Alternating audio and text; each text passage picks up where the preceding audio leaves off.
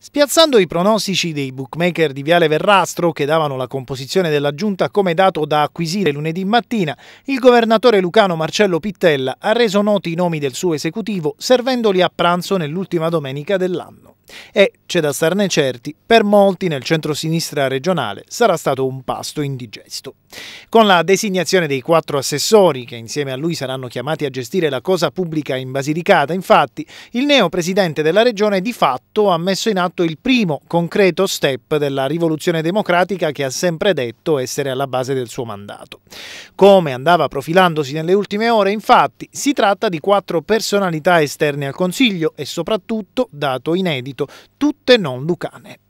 Trova conferma il nome di Raffaele Liberali, che ricopre l'incarico in seno alla Commissione europea nell'ambito della Direzione Generale per la Ricerca e l'Innovazione di Direttore per l'Energia, nominato assessore alle politiche per lo sviluppo, lavoro, formazione e ricerca. E adesso si aggiungono Flavia Franconi, quota rosa del gruppo, docente presso la Facoltà di Farmacia dell'Università di Sassari e in passato componente della Commissione Consultiva Tossicologica Nazionale e del Comitato Tecnico della Consulta Nazionale per l'Alimentazione e la Sicurezza degli Alimenti alle politiche per la persona. Ancora Aldo Berlinguer, figlio di Luigi, avvocato cassazionista e docente di diritto all'Università di Cagliari, già nel CDA di MPS Anton Veneta, che ha ricevuto la delega all'ambiente, territorio, infrastrutture, opere pubbliche e trasporti, e Michele Ottati, funzionario della Commissione europea, a capo dell'unità promozione prodotti agricoli e legato a Satriano di Lucania, alle politiche agricole e forestali. Pittella ha invece tenuto per sé le deleghe agli affari istituzionali,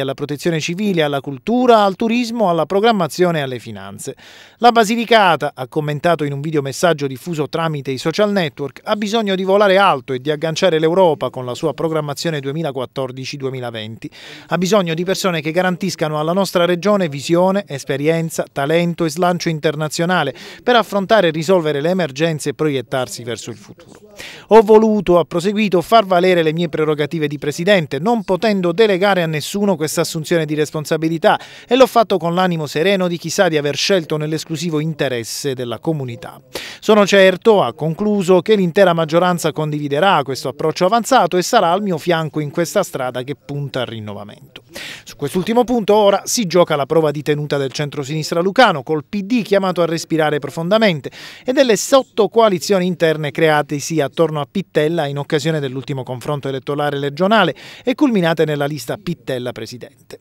Per ora l'unico commento ufficiale, oltre a quello di Pittella, è quello del suo predecessore, attualmente segretario regionale del Partito Democratico Vito De Filippo, il quale sottolineando che al nuovo esecutivo va ora il compito di mettersi al lavoro per affrontare le tante questioni che i lucani hanno affidato con fiducia al centro-sinistra col voto del 17 e 18 novembre scorsi, ha comunque dichiarato che Pittella e la sua squadra potranno contare sull'apporto della maggioranza, che con le tante risorse e capacità degli eletti in Consiglio non farà mancare un contributo di forte progettualità per individuare le soluzioni migliori all'altezza delle attese della nostra gente.